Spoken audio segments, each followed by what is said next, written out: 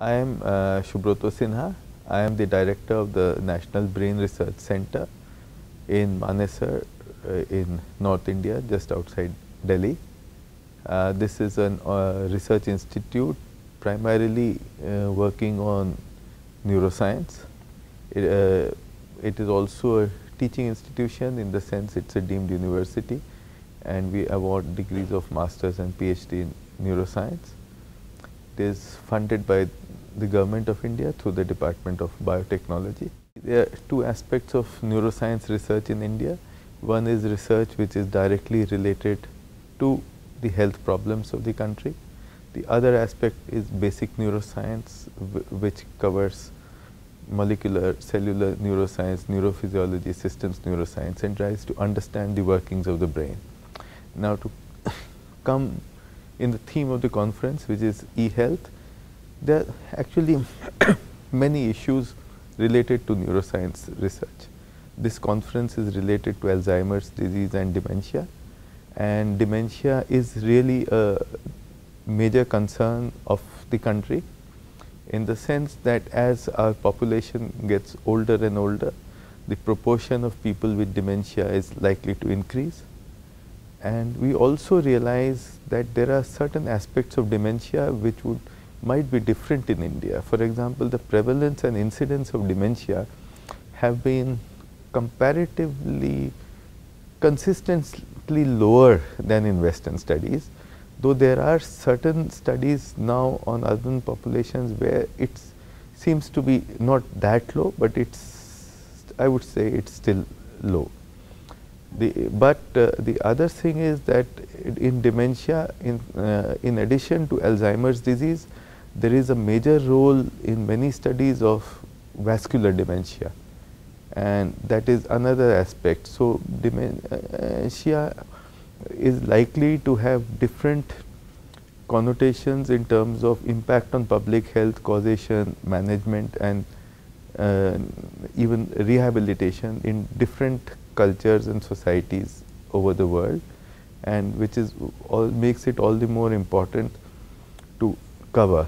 In vascular dementia, there is essentially it is related to the malfunctioning of the blood vessels as a consequence of hypertension. And, and this because of this the flow of blood is reduced.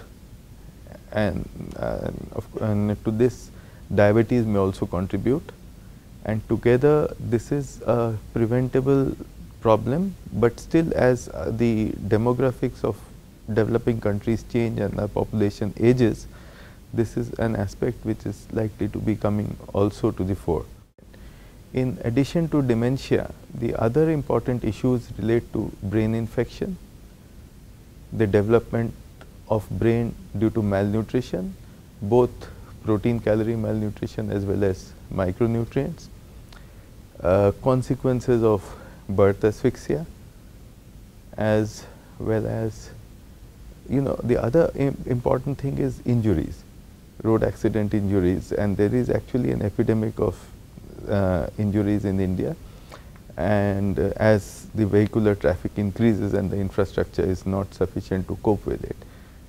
Uh, in addition, there are brain disorders related to birth asphyxia, low birth weight and so on. So, actually there is a large spectrum of brain disorders which could be covered through an e-health infrastructure both within the country and globally uh, which would make it important. In India the ma major e-health related project actually is related to not just to e-health, but uh, India is building a national knowledge network and there is um, and actually a budget of almost 1.1 billion dollars over of course over spread over 10 years and the aim is to collect connect 1500 amongst other things uh, research institutes and educational institutions in India with a high speed low latency network.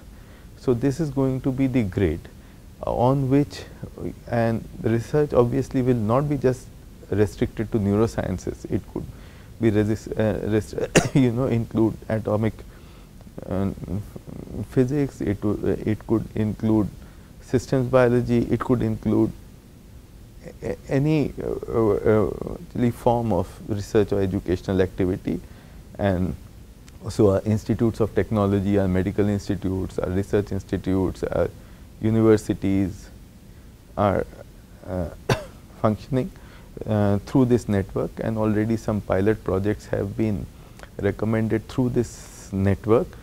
Some one of them relates to the it's like we have so, uh, an eye brain project. So, within India there are centers working on Alzheimer's disease and we have just started uh, uh, and our center is the actual nodal agency for this eye brain project. Professor Prasun Roy is the PI and they collect data and images from uh, jointly analyze and collate images of people with dementia. So, about 5 to 7 centers are already getting linked. Uh, I will give you another example. We are also connected to the Canadian network through Montreal Neurological Institute and through that we can access actually the European and the um, uh, North American networks. So, already there is a project linking our networks with the grid and the um, this project has also been approved and very preliminary some work has started. India has also made a proposal to link up jointly with the outgrid. So, uh, and this is a part of an uh, infrastructure development proposal. So, these things are on the cards in the sense, but uh, I, um, the proposal has been submitted. And because of this very uh, high speed networks and uh, collaboration worldwide, actually the aim is uh, not only uh, is to cover a wide range of subjects. I think uh, it is related to um, you know subatomic particles on one hand, crystal structures on the other and dementia on one side. In addition other diseases can, th this is essentially an enabling infrastructure. So, because of which uh, the, uh, the, there are the two projects on dementia have already been in a way they are off the ground. So, and one more from Indian Institute of Science is under consideration. And the, the obviously, you know, science is global. And because science is global, everybody contributes their own unique expertise to this our understanding of these problems. And global collaboration will help us both in increasing our understanding of a problem and as well as find novel ways of problem solving to take care of you know the uh, in particular uh, dementia. Let us say the prevalence and incidence is likely to increase. At least the prevalence is uh, more likely to increase. And, and this would uh, create enormous economic costs.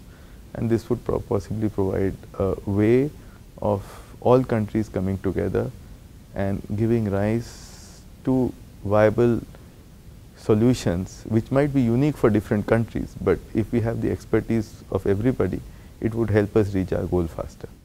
Well, I hope that there would be uh, uh, uh, this worldwide infrastructure to, of using e-health to enable mm, capabilities of all countries would be put on a firmer footing and, and then we would be able to have a more concrete dimension and bring together all the individual efforts in this area.